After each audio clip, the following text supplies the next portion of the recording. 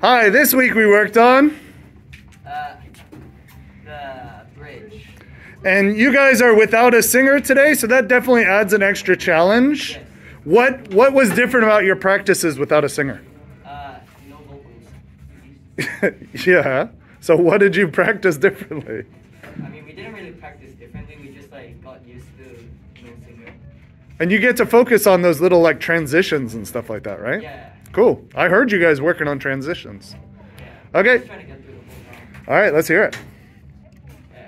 One, two, three, four.